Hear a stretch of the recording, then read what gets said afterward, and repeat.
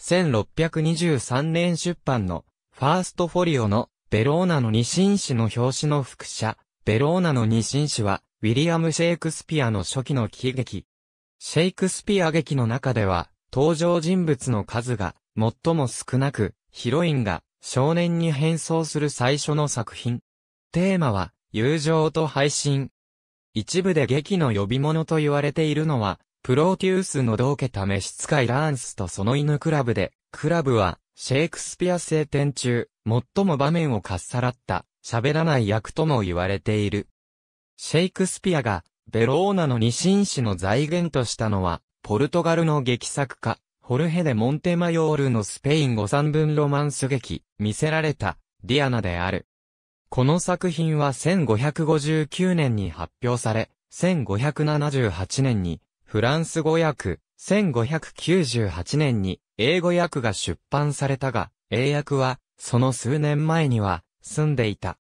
シェイクスピアはフランス語版あるいは、出版前の英語版を読むことができたか、1585年の失われた作者不詳のイングランドの戯曲、フェリックスとフィリオミーナの物語で知ったと信じられている。見せられたディアナの第2話で、ドン・フェリックスはフェリスミーナに恋し、恋文を送る。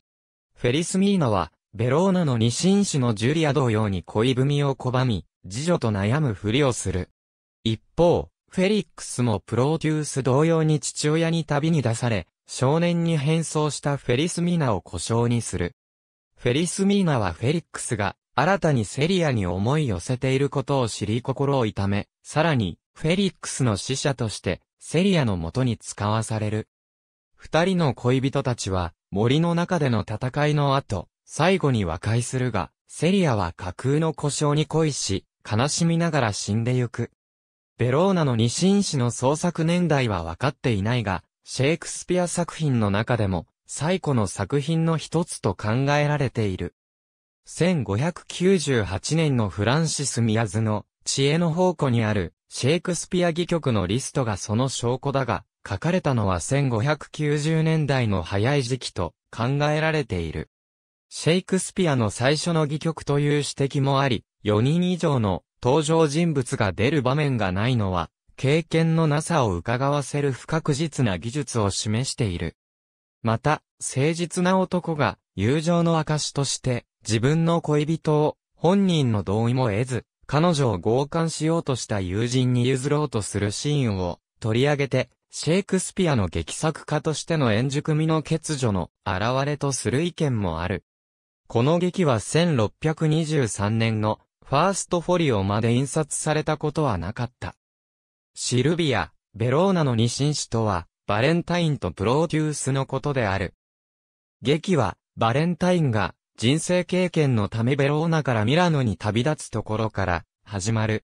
プロデュースもミラノ行きを誘われるが、恋人のジュリアと離れ離れになるのが嫌で、ベローナに残るという。恋を知らないバレンタインは、プロテュースを愚かしく思う。しかし、プロテュースも父親の命令で、ミラノに行かなければならなくなる。プロテュースはジュリアに永遠の愛を誓い、ベローナを去る。ミラノでバレンタインは恋を知った。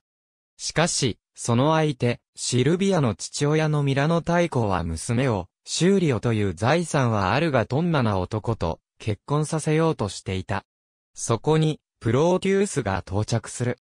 プローテュースはたちまちシルビアに恋をして、シルビアを手に入れるため、ミラノ大公に嘘を吹き込み、邪魔者のバレンタインをミラノから追放させる。新たな恋のために、昔の恋と友情を裏切ったのである。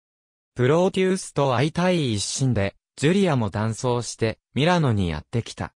プローテュースは、ジュリアとは気づかずに、ジュリアを故障にし、シルビアへの恋文を届けさせる。しかし、シルビアは恋人を裏切るプローテュースが許せず、ジュリアの目の前で恋文をビリビリに引き裂く。バレンタインが好きなシルビアは家出をする。その頃、バレンタインは、ひょんなことから、山賊の頭になっていた。シルビアを追いかけて、プローテュース、故障に化けたジュリア、修理王は森にやってくる。そこで山賊に連れ去られかけたシルビアを救出し、プロテュースはシルビアを力ずくで自分のものにしようとする。そこに、バレンタインが現れ、プロテュースを裏切り者となじる。プロテュースは反省して謝罪する。バレンタインはそれを許し、友情の証として、シルビアを、プローテュースに譲ると言い出す。それを聞いたジュリアはショックで失神する。ジュリアの正体がわかり、プローテュースは反省し、和解する。バレンタインを一途に思うシルビアの気持ちを知って、ミラノ大公は二人の結婚を許可する。シェイクスピアの存命中から1642年の劇場閉鎖までベローナの二紳士が上演された記録はない。わかっている中で最古の上演は1762年のドルリーレーン劇場でランスとその犬が強められた改訂版だった。シェイクスピアのオリジナルのテキストでの上演は1784年のコベントガーデンでの上演である。1821年にはフレデリック・レーノルズによるオペラ版が上演された。18世紀中期から演出家たちは、ラストのバレンタインが、寛大さと友情の証として、シルビアをプロテュースに譲ろうとするくだりを削除するのが一般的になった。1841年に、ウィリアム・チャールズ・マクレディがこの慣例を破り、問題の場面を復活させたが、1952年のブリストル・オールドビックでのデニス・ケアリーの上演では、先の慣例に戻された。ベローナの日清史は散発的に上演されているが、英語圏ではあまり成功していない。むしろヨーロッパで人気がある。ベローナの日清史のテーマは、友情と愛情の葛藤である。つまり、二人の男の友人同士の関係が、恋人同士の関係より重要かどうかという問題である。これは、ルネサンス文学ではよく見られるテーマで、この時代の文化のいくつかの局面は友情をより重要な関係として賛美している。